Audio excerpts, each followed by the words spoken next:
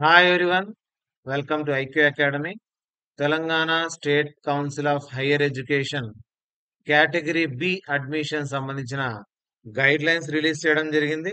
So MBA and MCA కోర్సెస్లో two thousand twenty three twenty four academic ఇయర్కు join కాబోయే వారు category A సంబంధించి convener quota సీట్లు already allot కాబడ్డాయి. ఇంకా రిమైనింగ్ ఇక్కడ ఉండే రిమైనింగ్ సీట్లు అండ్ కేటగిరీ బి సంబంధించిన స్పాట్ అడ్మిషన్ సీట్లకు సంబంధించి పూర్తి గైడ్ లైన్స్ అనేది రిలీజ్ చేయడం జరిగింది. Telangana state council of higher education so దానికి సంబంధించిన పూర్తి డీటెయిల్స్ మనం ఈ వీడియోలో చూడబోతున్నాం. సో ఈ వెబ్సైట్లో అఫీషియల్గా twenty nine nine two thousand twenty త్రీన ICET twenty twenty three category B admission notification guidelines అనేది రిలీజ్ చేయడం జరిగింది. సో దీన్ని మీరు కావాలంటే డౌన్లోడ్ చేసుకోవచ్చు. ఈ వెబ్సైట్ నుంచి HTTPS TS CHE one dot com slash college uploads slash two thousand twenty three slash MBA register. దీంట్లో పోయి మీరు ఎన్రోల్ కావచ్చు. సో ఈ వెబ్సైట్ అనేది ఈ పేజ్ని ఓపెన్ చేస్తుంది. TS CHE dot website slash cat B admissions dot PHP type చేసి మీరు ఎంటర్ కొడితే ఈ వెబ్సైట్ ఓపెన్ అవుతుంది. ఇందులో ఇక్కడ కేటగిరీ బికి సంబంధించి నోటిఫికేషన్ అండ్ ఆల్సో ఎలా అప్లై చేయాలనేది పూర్తి డీటెయిల్స్ అనేవి ఇక్కడ ఉన్నాయి.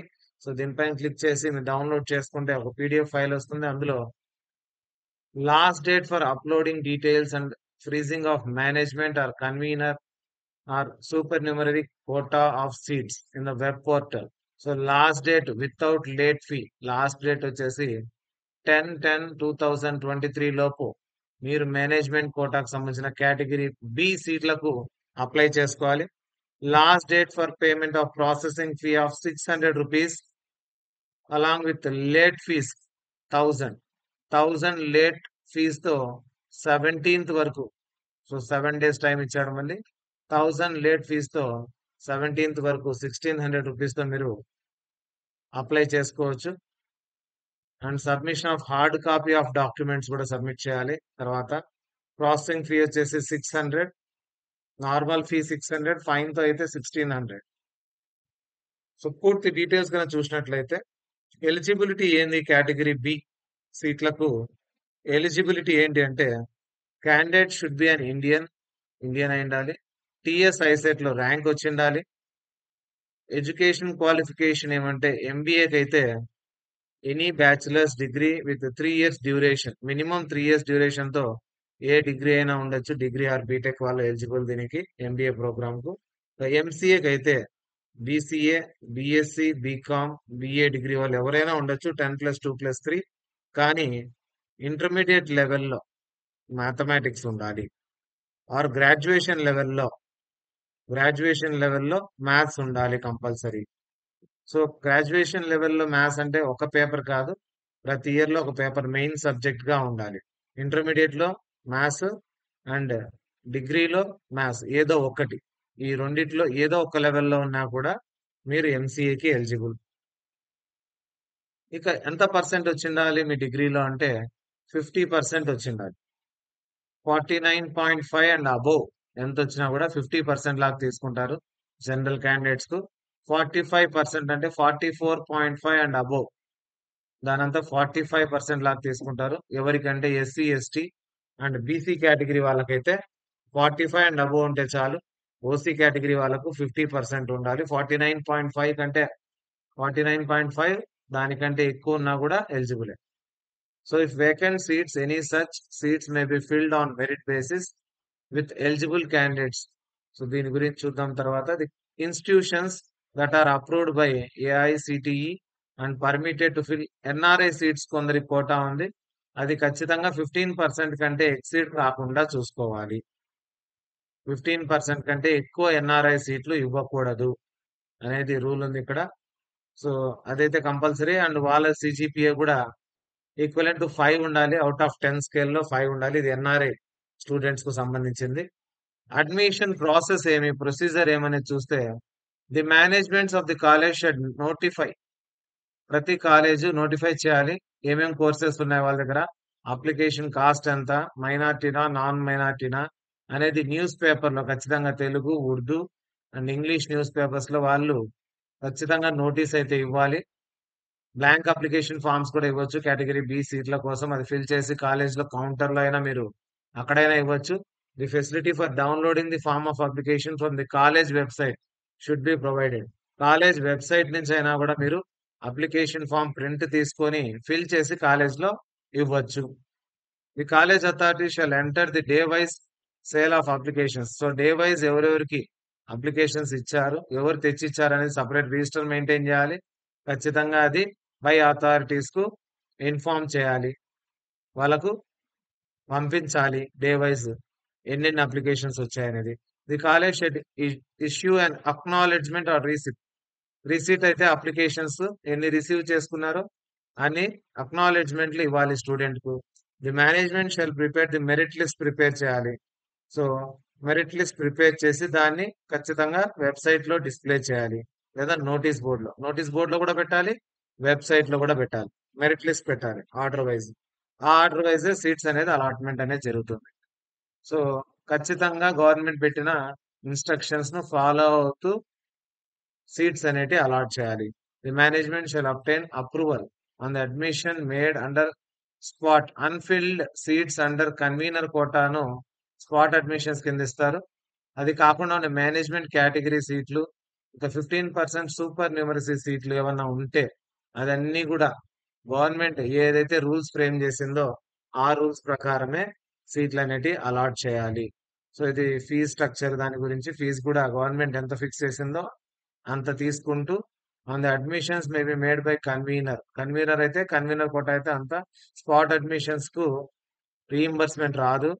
అండ్ మేనేజ్మెంట్ కోటా వచ్చేసి వాళ్ళకు కూడా ఒక ప్రిస్క్రైబ్డ్ స్కేల్స్ అంటూ పెట్టింటారు. దానికంటే ఎక్కువ లేకుండా ఖచ్చితంగా నామ్స్ ప్రకారమే తీసుకోవాలి అని చెప్తున్నారు. Submit the printout of the uploaded list of students admitted under category B కింద ఎవరినైతే సెలెక్ట్ చేసుకున్నారో వాళ్ళ లిస్ట్ అయితే ఖచ్చితంగా అప్లోడ్ చేయాలి. And left over spot under category A convener quota కింద లెఫ్ట్ ఓవర్ సీట్లు కూడా ఫిల్ చేసింటే దాన్ని కూడా ఖచ్చితంగా ప్రిన్సిపల్ సిగ్నేచర్తో ఆ ఫోటో కాపీస్ అని కూడా పంపించడము అండ్ అప్లోడ్ చేయడం కూడా చేయాలి.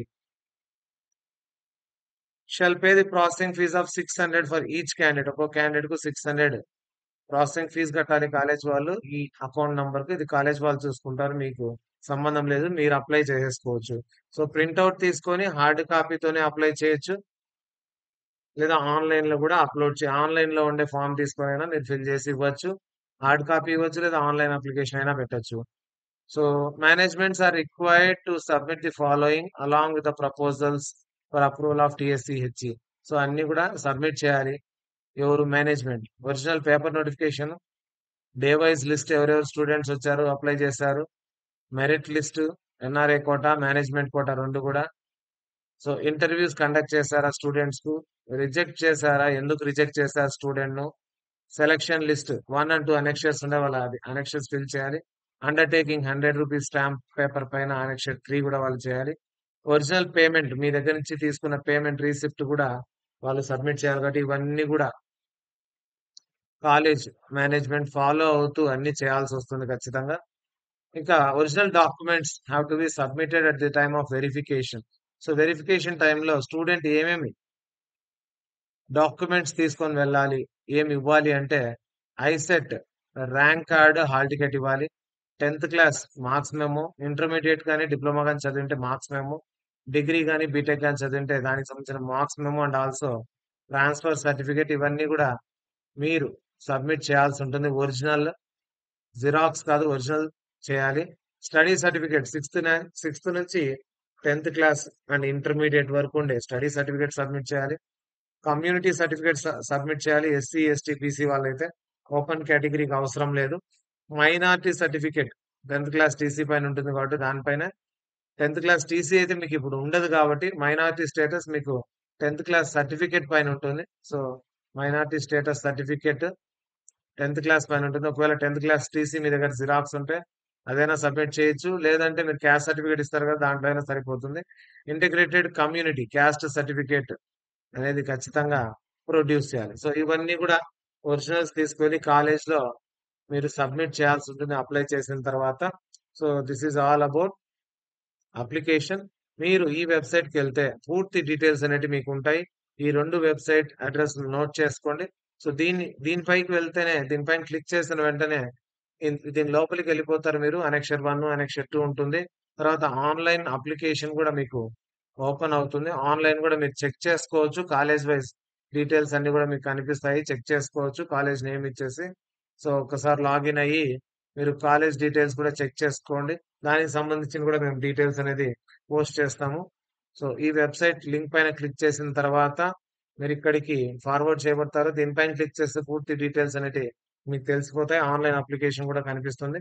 ఆన్‌లైన్ ఆర్ ఆఫ్‌లైన్ రెండింటిలో ఏదైనా కూడా మీరు సబ్మిట్ చేసుకోవచ్చు. కేటగిరీ బి సీట్ల కింద 30% సీట్లు మేనేజ్‌మెంట్ కోటాలో ఉంటాయి కాబట్టి, ఈ సీట్లు మీరు పొందాలంటే ఖచ్చితంగా మీరు కాలేజ్‌కి వెళ్ళి హార్డ్ కాపీ ఇవ్వడం కానీ ఆన్‌లైన్‌లో అప్‌లోడ్ చేయడం కానీ ఖచ్చితంగా మీరు చేయాల్సి వస్తుంది కాబట్టి వెబ్‌సైట్ అడ్రస్లు నోట్ చేసుకోండి. కేటగిరీ బి సీట్లకు. టాప్ కాలేజెస్‌లో చేరాలనుకునే వాళ్ళు, కొంచెం ఫీజు ఎక్కువైనా కూడా కట్టుకోగలం అనుకునే వాళ్ళు కేటగిరీ బి సీట్లలో మీ సీట్ పొందడానికి ఈ ప్రాసెస్‌ను ఫాలో అవ్వండి.